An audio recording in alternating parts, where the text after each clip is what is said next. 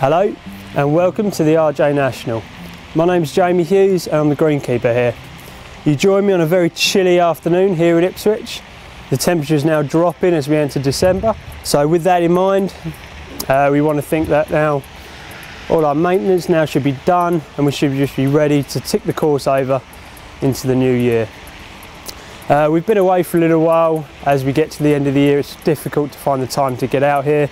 Uh, but what we have got coming up is just some snippets of a little bit of renovation we've had going on and also this nice big new project on this first tee you see behind me.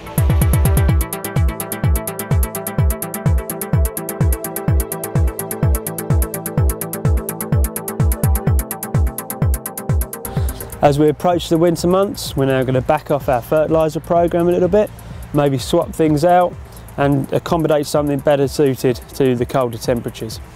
So what I'm now doing here is I'm going to start using a product called Ferrosol. Uh, now Ferrosol is a liquid iron solution.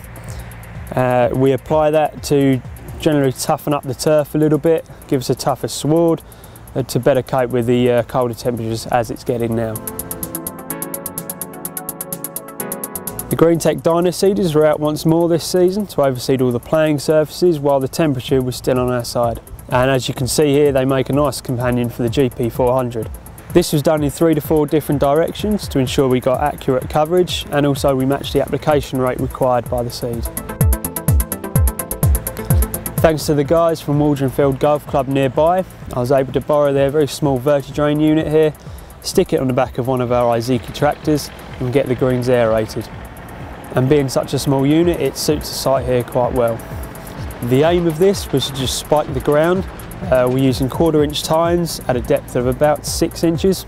This is puncturing the thatch layer, allowing moisture and also nutrients down through that thatch and into the soil profile. Once the aeration was completed and the seed had fully germinated, it was then time to put our main autumn feed down. And this is normally done about two weeks after first overseeding to ensure that new grass is coming up fully, so that also gets a protection. The fertiliser I'm using is a Sierraform GT K-Step, and this has a formula of a 6027. Also this month, much to my glee, saw the completion of quite a major project we had going on the first tee here.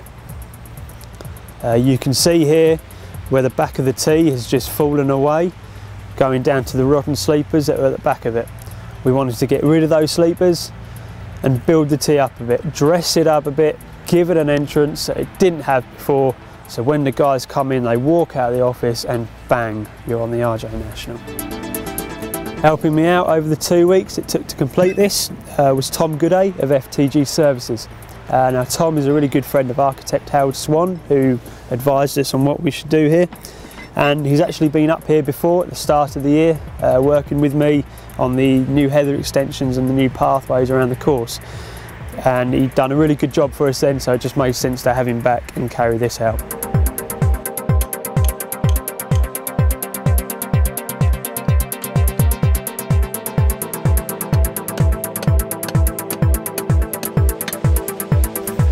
Finally this month we've also seen the official launch of our new Ransomes MP mower.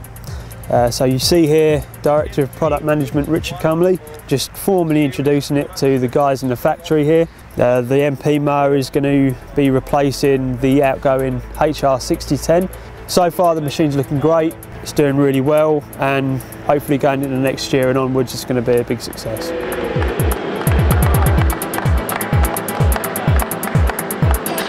So that brings us to a close of this edition of what's happening on the RJ National.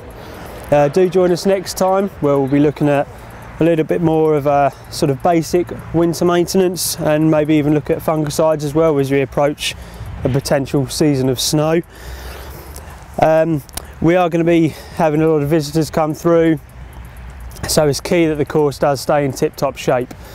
So do join us to have a look at how we do that. Uh, until then, I hope you've enjoyed watching and I'll see you next time.